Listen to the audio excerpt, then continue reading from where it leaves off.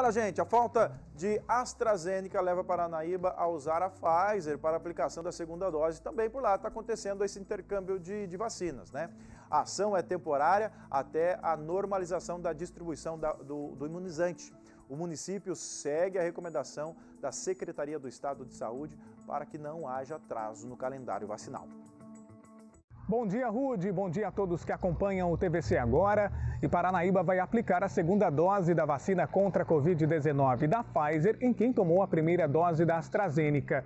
A ação é temporária até a normalização da distribuição do imunizante, seguindo as recomendações do Estado. De acordo com o secretário de Estado de Saúde, Geraldo Rezende, o Ministério da Saúde atrasou o envio dos lotes de AstraZeneca devido à falta de ingrediente farmacêutico ativo, o INFA, que é usado para a produção de doses pela Fundação Oswaldo Cruz, a Fiocruz. E para não atrasar o calendário vacinal, foi então autorizado os municípios de Mato Grosso do Sul a aplicarem a dose 2 de Pfizer nas pessoas que tomaram a primeira dose da AstraZeneca e precisam completar o esquema vacinal.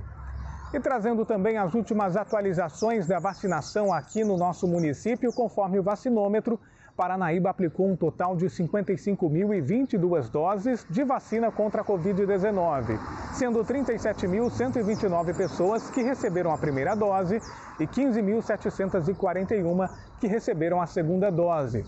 Além disso, 160 pessoas receberam a terceira dose, 2 mil pessoas tomaram dose única e, ao todo, 4.711 adolescentes receberam o imunizante.